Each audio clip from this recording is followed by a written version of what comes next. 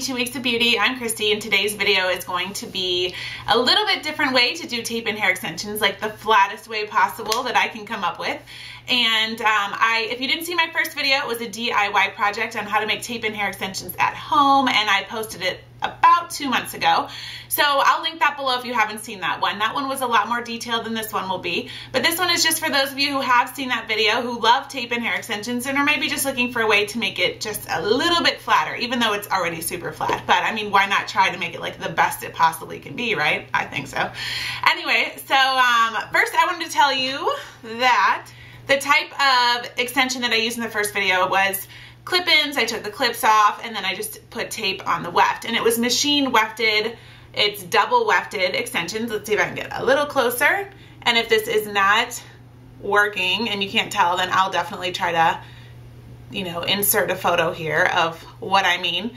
But anyway, this is machine wefted. It's very thick. Um, you definitely could you know, another weft onto this and then do tape on both sides like I talked about in the video and actually showed how to do that if you're looking for like extra thick. But I wanted to do a video for girls who, you know, might have very thin hair like I do naturally. And I think a lot of people who wear extensions do have thin hair. That's why they love hair extensions. A lot of girls that have thick hair want it just for length, but the ones that have thin hair, where maybe you can see, you know, like you'll have hair extension, like your normal hair and then hair extensions. And you can always see that like shelf. I think this other type of extension is going to really help you. And I think, uh, I think you'll love it if you haven't already heard of it. But anyway, so when I did the tape in hair extension video, I used the double wefted hair like this with machine wefted with um, half inch size, three yards. It's half inch thickness, roll tape, and I just kind of rolled and cut and put on both sides. Um, so that works great and it's awesome and I love it. After I did that video, I discovered the quarter inch size tape, which is two tiny rolls stuck together. I talked about it in a video. I do really like this. However, with a weft like this, it's it's not even wide enough. That quarter inch isn't wide enough to cover the entire weft. So, I mean, it still works, but why not use, you know, that's why I think half inch for a regular machine double weft is perfect. Um, there's even a size that's a three quarter inch size, and I think that would be really great for, um, like if you're gonna double up or triple up these wefts, it's like this thick, so that would really help cover all of the wefts together. If you're looking for like, I don't know, crazy volume, then you would probably wanna go with a wider tape. Um, so anyway, for right now, I think a double wefted machine weft works great with the half inch size. And now the quarter inch, I think I want to show you that if you guys haven't heard of hand tied hair extensions, they are like, they're like my love. They really are. I, I go back and forth between the machine weft and hand tied just for the simple fact that sometimes I do want like tons of volume. And then that's when I do the machine weft because they're just thicker naturally. Um, but there's a lot of other times like in the summer when it's really hot or like if I'm working out a lot, my natural hair looks like this and it's very thin. And here's what the difference between hand tied and machine tied. Hand tied is exactly what it's, you know, called. It's literally tied by hand and therefore it cannot be double wefted. So this is so thick and this is so thin. And the rest of the hair is obviously really thin too, but this is like so tiny. I've had a few girls write comments to me that they have tried hair extensions where they don't have a weft at all. They just have like loose pieces of hair onto the tape and they still do the flat iron, they still put it on their head. That can work, but it's a lot of hairs will fall off and you'll have a lot of shedding and almost by like in a few weeks you'll have like half your hair will be gone from your tape because those loose pieces have like nothing to really hold on to besides the tape. So if they get a little bit away from the tape, they're just they're just gonna fall. So I think you definitely need some sort of, you know, I don't know, a weft, because this is still considered a weft, it's just hand tied versus machine. But this is like the thinnest that I think exists out there. And uh, yeah, let me see what else I can tell you about it. Another really great thing about this is say you want a ton of volume and maybe you have really thin hair on top, okay? So maybe your, your hair's thicker on the bottom for some reason, but on top it's not and you're having trouble hiding your wefts. You could definitely still do this, but put this one at the top. And I think that's awesome because this is so tiny thin. It's like crazy. When you put tape on it, like you're never gonna see this. So um, I love this. And this is actually, I started out with tape in hair extensions with hand tied. And then I kind of moved on to this just for, like I said, a little bit more volume. But um, now it's so hot. It was like 84 degrees yesterday in Chicago, which is totally crazy because it's been freezing and today it's kind of gross again. But I was dying. I was like, oh my gosh, I have way too much hair in. Like it's great for winter and fall, but during the summer months, I need to go back to hand tied and it's just light and breezy and it's easy. So I'm gonna show you that in a little bit. I'm actually, I have clip-ins right now. I'm gonna take these out. I'm gonna put hand tied in and I am going to use the quarter inch tape because this, like I said, is half of this is one roll. It's so tiny that it's like three of this little bitty weft. So I love that. And I actually use to make this a double weft. But I wanted to show you that even with me double wefting this, like look, look how thin still versus this one that's already double wefted. See the difference? Crazy difference. And the top is ridiculously thin, like so much thinner. Oh my gosh, let's see. Okay. it's very hard. I'm seriously I'm like, um, what am I doing? Can you even see what I'm doing? Okay, so I took some pictures, make it easy. Um, but this is the three yards, half inch size on the left. The right is the six yards, one quarter inch. And you can really, really see in this next picture the difference in the weft size. See how tiny that is? Awesome. I love it. Okay, so another thing before we get started, I just wanted to mention was I, you know, since I have Miss Flirty hair extensions and they're clip-ins and they're the double wefted, this is also Miss Flirty the hand-tied, but I just special order this for me um, because, you know, like I said, I love them. I haven't, you know, decided to carry them yet or anything like that just because hand-tied are a little bit more expensive.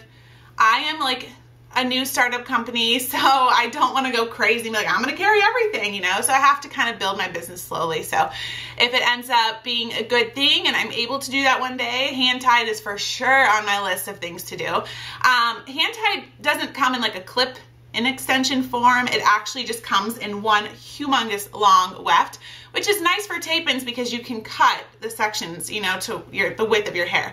Clip-ins, you're kind of, you know, limited to what comes in the pack already, which is fine because you could section them next to each other. But I think when you have the long weft, you can definitely just kind of make them any width that you want, which is nice. And as far as like what I would recommend for another brand, I would say for now, I just want to recommend somebody else for you because I, you know, I can't help you. but I'm just here to tell you that I'm sure there's a million companies out there that make hand-tied hair extensions. Um, eBay, Amazon, just make sure it's Remy. And I would say try to get, you know, the most grams possible because I, okay, let me give you a better description. Try to get over like 170 grams for hand-tied. And uh, I would say 170 to 2-ish is probably good for one, for like someone like, you have hair like me. Um, if you have thicker hair, then you might be looking into more like 250, 300 grams would be good for hand tied for you. Um, anyway, that's just my, you know, opinion on that. Bohyme would be the brand that I would recommend. I've used them a lot in the past before I had my own company, and I think they're great, very high quality, and I would get them from a reputable salon or um, beauty supply store because I have heard and there are things online where there have been companies that have ripped them off, you know, kind of like, um, what's the word? Making a knockoff of them. Is that the right word? Making a replica. Yeah. Copy. I can't think of the word for anything, but anyway, there are some not real bohemian hair out there that looks like it is in the yellow package and all of that. So just make sure you're getting it from someone that you trust. And it's uh, it's a very high quality hair and I really recommend them for the hand tied extensions. I think they're awesome. So I think that that's it for that right now. So I'm going to go ahead, even though you guys saw me do my tape in hair extensions before, I just want to go ahead and show you how thin and how it's going to look here. I'm probably going to speed it up really fast so, you know, you guys you guys already saw before, but this is just to kind of show you the thinness and the flatness and how it all comes together. I'll be back afterwards to kind of you know, talk about it just a little bit more. And I wanted to take you into my Miss Flirty closet so we can go grab the hand-tied extensions and we'll start making them. Okay, here we go. Okay, so this is where I kind of keep everything for now. it's just my little Miss Flirty world, and it says my poster, Miss Flirty Remy hair extensions, now sold here. Let your hair drive them crazy, not you. Um, so this is just kind of where I keep everything. And one day, if I ever have a big, you know, place, like I'd love to have a salon or store. I mean, how amazing would that be? But everyone's got to start somewhere, right? So, okay. So this is kind of, you know, where I package up everything. This is one day. You have no idea how much is in that bag down there on the front, on the bottom shelf. That is all my years of hair extensions, my troubles, my woes, the companies I love and I don't love. and all of my like I don't know, just basically like I'd say that's my hair extension training course in that bag. Like everything I know, I owe it to everything in that bag. And um, yeah, so one day I'm going to take it out and show you guys everything because it's just insane. And I just saved it because I knew one day I kind of wanted to show everybody like this is what it took to get me to where I am and to know the things I know. So that's a lot of money in there that I spent on numerous brands and products that I, yeah. Anyway, you get the point. Okay, so it kind of is real, real, real big and it goes way, way, way, way back. So um, for now, I'm just gonna pick up my hand tied, which I know is right here. And I'm gonna go put tape on now and uh, yeah, we're gonna try the quarter inch with the hand tied and see how flat it is. Okay, so I'm gonna go ahead and unpackage the hand tied hair extensions. This is about 170 gram set and it's like I said one big long piece and I'm just cutting a little tie off of it so I can unroll it. And this is not uh, double wefted so it's just one long single wefted. They're very thin um, the actual weft. So I'm gonna go ahead and I'm gonna measure different sections for my head and kind of hold it up and I'm going to cut two pieces of every section. So, um, because I do want to, you know, put tape in the middle of each weft, I guess, um, and add, you know, the other side to it because I want them just a little bit thicker than it comes. So when I measured these afterwards, um, the bottom piece was seven inches long. It goes in between my ears, kind of towards the top of my ears. And then I have two that are 10 inches wide that are going, one's like the middle of my head, one's a little bit further up at the top of my head. And that's what I'm going to start with now. Um, I this hair actually is awesome, but after you know wash it and dry it, it does get a little bit more whatever thicker I guess you could say and um, so I just sometimes I don't like to put it all in the first time because I want to see how it kind of lays with my hair and if I want to add an extra weft in I always can do that in between the other wefts later so I might not even end up using the entire package of 170 gram hair but you know it just depends on you know, what your thickness is. So that's why I just recommended grabbing something about that weight, um, just in case you do end up wanting more. And if you don't use it all, you could always use it next time. Okay, and here we are with the quarter inch tape um, that's, you know, two rolls right next to each other. So you'll see at some point I pull one part of it out and the other roll wants to come open too, but you just have to kind of go slow and um, just keep one roll going at a time. But what I'm doing is I am actually because this tape is so tiny, you don't want to get your fingers on it at all. So it's a little different than the half inch because there's more, you know, tape. It's a little bit easier to work with when you touch it. See how two pieces just came open? Yep, still is right there. you just kind of kind of have to push that little roll back and separate it. There we go.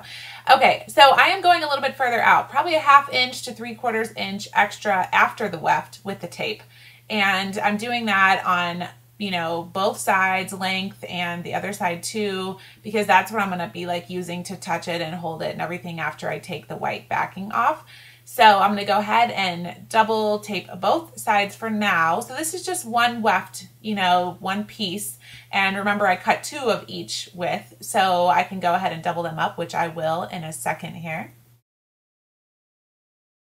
For the other wefts, I just put tape on one side, and you'll see why um, I did that in just a little bit. Okay, so after you have taped both sides of the first um, piece of hand-tied extension that you're using, you're going to go ahead and take your flat iron that's heated to 400 to 450. You're to clamp, clamp all the way down the weft. Watch your fingers. Um, make sure you don't slide the flat iron and make sure you do it like, you know, one to two seconds hold on each clamp. This is sped up just a little bit, so keep that in mind. Then you're gonna peel off the tape on just one side. And this is the part where you are going to lay the other weft on it. So I've already added tape to the one side, but I'm gonna go ahead and lay the part that didn't have tape on the little tape that I just peeled off. And I'm gonna use my flat iron. I'm gonna seal that with the same process. And I'm gonna go ahead and do that with all the pieces. Okay, and then during this process is when you're going to realize like how nice having those tabs on the side is or those extra little pieces to hold on to. You can really align the wefts up nicely together and you're not touching anything. Even with that sticky part, I was just touching the sticky part on the outside. So uh, yeah, you can kind of see right there like them hanging off the edge um, in the mirror. But you're going to go ahead and you're going to flat iron them together. So now these are officially like double wefted tape in hand tied extensions. And I'm going to do that with all the other pieces. I won't show you that part, but uh, let's go ahead and move on to me installing them. Okay, so I'm taking out my clip-in extensions, putting them in the case that I made a few weeks ago. And P.S., nobody has entered yet. I know it's not over till June 17th, and it's for a, you know, set of clip-in hair extensions, but if you're thinking about entering, you definitely should because you probably won't have that much competition. I'm just saying. Okay, anyway, so now I'm going to go ahead and, you know, this is very similar to what you've already seen before in my last tape in extension video. So I'm really fast forwarding this super fast, but I'm just putting in three rows, um, seven inches on the bottom, 10 in the middle, 10 above that. I'm measuring, I'm making sure it's a clean line. You want to put the tape in part as much on your scalp as possible with like, you know, a little bit, I guess. I guess just mostly on your scalp would be the best way to say it. If you're putting it on your hair, it's not really going to adhere to anything. Okay, so on some of this, um, you'll be able to see that um, after you take the tape off both sides, you're going to go ahead and cut off that little piece of you know, the clear tape that's still hanging on both sides, like the tabs that we use the whole time to hold it.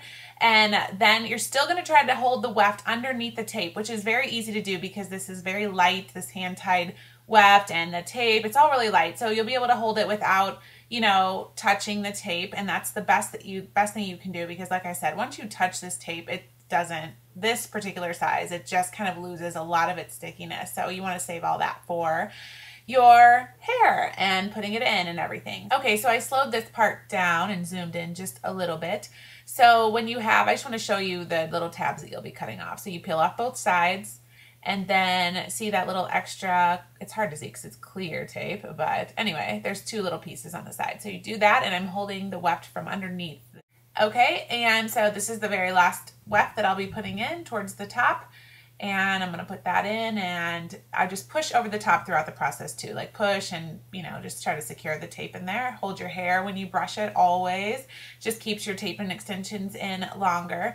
So um, anyway now uh, it just feels so nice and light and flat. I'm flat ironing it just to kind of make it you know lay flatter and it will all blend a lot better after I wash and dry it but at first you know. And I just like how natural it looks like even the ends are a little bit thinner. It looks like what my natural hair would look like if it actually were long Okay, so I'm back. I hope you enjoyed watching that video. I wanted to mention one more thing really quick, and I know this video is getting really long, so I'm to try and go before it hits like 20 minute mark. Um, but let's say that maybe you have some leftover hand-tied extensions and you want to make a few clip-in pieces because this is thinner and if you know, you want to maybe have a little bit more volume and you want to add some clip-ins, you have plenty of room in between the rows that you could throw in a few clip-in extensions too. Or maybe after you're done wearing tape in and you just want to break and you want to have some clip-ins, but you want to try the thinner version, you can just take two of the hand-tied wefts and use some white hair bonding glue. I got this from Sally's. You can get this from like a beauty supply store. There's a lot of different brands as long as as long as it's white um, because it'll dry clear then. And I guess maybe if you have dark hair, you might want the brown or black one. Maybe. Right? Probably. So you would just glue the two together, let it dry till it's clear or invisible or whatever you want to say. And then you would just take and sew on your clips. And I'm sure there's videos out there on how to add clips to weft extensions. But um, it's pretty simple to do and I'm not a sewer. You guys know that. But just to give you an idea, look for tiny clips and I guess you could find these on eBay or Amazon or even a beauty supply store. But look how small they are compared to the normal clip and extension size. So if you have extremely fine hair, this actually might work really well for you. So you would just put these clips maybe do two or three, so one on each end and then one in the middle. Um, that would probably help. So I just wanted to pass that tip on to you and I think it's fun and it's uh, it's great to have like a lighter version. Even if you don't have very fine hair, maybe you just want a lighter version for the summer or when you're working out or I don't know, whenever it's just really hot out in general. Okay, so I think that's everything for this video. I hope you guys are having a great week. I'll see you again next week. Bye.